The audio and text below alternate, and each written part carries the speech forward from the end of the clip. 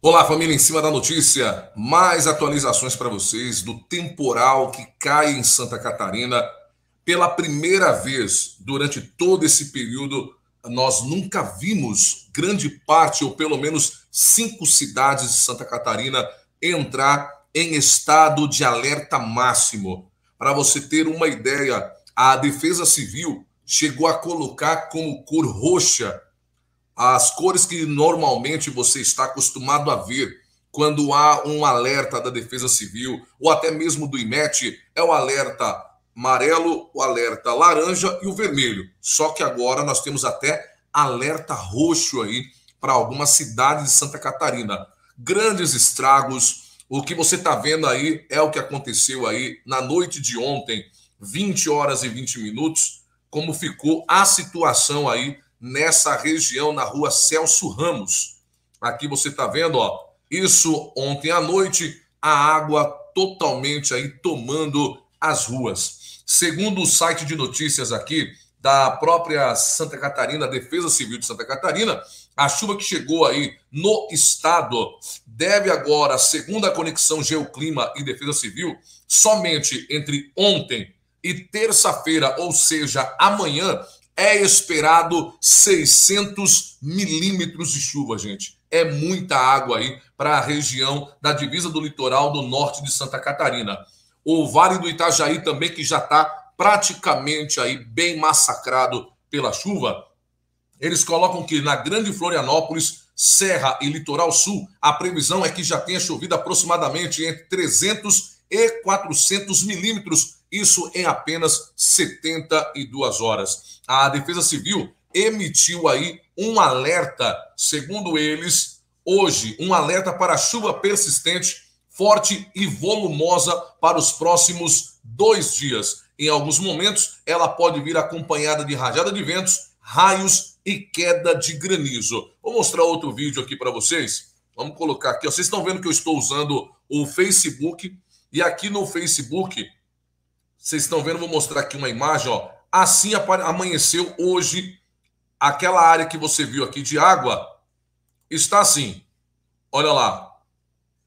É a mesma imagem, é o mesmo vídeo, a mesma localidade, você está vendo? Hoje, 7 horas e 4 minutos. Então vocês veem que a água ela deu uma escoada. Nesse primeiro momento agora de manhã, não chove aí nessa região. Porém, é esperado, porque, segundo a própria Defesa Civil, hoje ainda vai cair uma chuva forte com ventos e também com granizo. Além disso, o comunicado de alerta para grandes chances de alagamento e deslizamentos estão mais aí no caso concentrado nas regiões do litoral norte, baixo e médio Vale do Itajaí.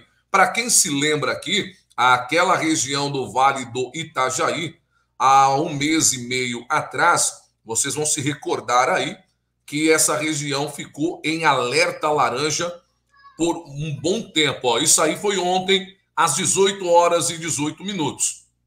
Isso aí é o momento em que a água começou a transbordar.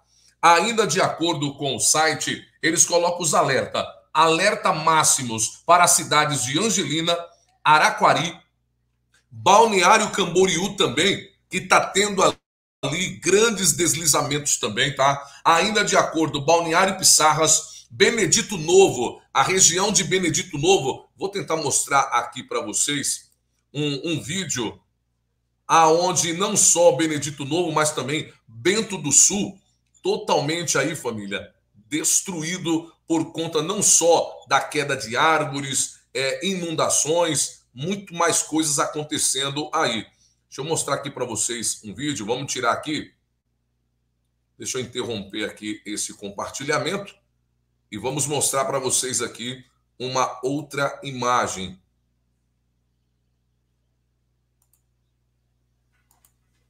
Vocês estão vendo aqui agora, já está na tela de vocês. Vamos lá, deixa eu tirar aqui. Isso você está vendo aí, ó, é a chuva volumosa que caiu. O site de notícias aqui, ó, é o SCC 10 que é o site de notícias de Santa Catarina. E olha isso daí, gente.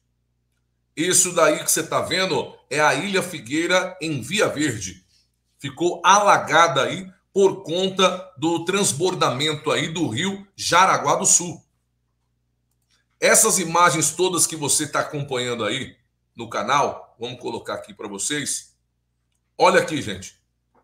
Praticamente aí, ó, praticamente o rio já na altura da ponte aí, já na altura do asfalto. E você está vendo que hoje ainda o alerta, segundo o próprio a própria Defesa Civil, é de mais chuvas aí para essa região. Tá? Vocês estão vendo que nós estamos pegando aqui Ó, tá vendo? Ó, chuva volumosa deve permanecer no estado até terça-feira.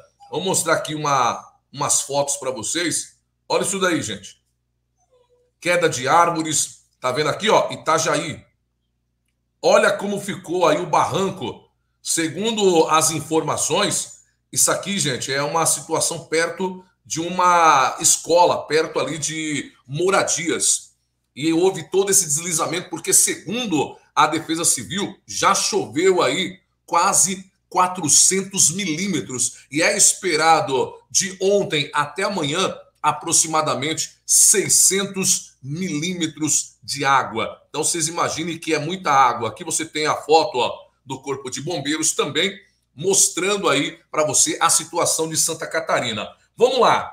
Além de Blumenau, Bom Jardim da Serra, Brusque, Camboriú, Corupá, Florianópolis, Gaspar, Guaramirim, Ilhota, Itajaí, Itapema, Jaraguá do Sul, Joinville, Luiz Alves, Mansaranduba, Orleans, Palhoça, Penha, Pomerode, Pomerode também ficou alagada, tá? Rancho Queimado, Santa Rosa de Lima, Santo Amaro, Imperatriz, também São Bento do Sul, São João Batista, São Pedro de Alcântara, Tijucas, Timbó e Águas Mornas. Eu quero mostrar para você aqui, ó, esse aqui que você está vendo é pela primeira vez você vai ver isso aqui.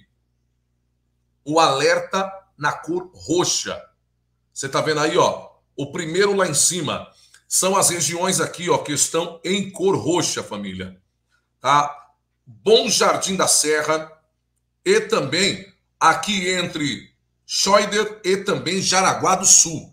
Essas áreas estão em alerta máximo. Eu comentei com vocês aqui que, pelo que a gente lembra de trazer informações para vocês falando de Santa Catarina, é a primeira vez que a gente vê uma, um alerta nessa cor aqui, colocando tão expressamente aí a situação para chuvas, chuvas intensas aí na região. E você comenta aí, deixa aí o seu comentário, compartilha aí o nosso vídeo. Caso você ainda não seja inscrito no canal, se inscreva aí no canal, o site de notícias aí, o SCC10, que traz a informação para vocês, as imagens que nós pegamos aí também no Facebook, trazendo para vocês todas as informações de tudo o que está acontecendo em Santa Catarina e a gente volta logo logo trazendo mais informação para vocês aqui no canal. Então se inscreva, ativa o sininho, deixa o like, comenta bastante e compartilha. Um grande abraço, o Em Cima da Notícia volta a qualquer momento com mais atualização e mais alertas aqui, assim que a Defesa Civil e o IMET for colocando sobre o sul do Brasil. Um grande abraço, família!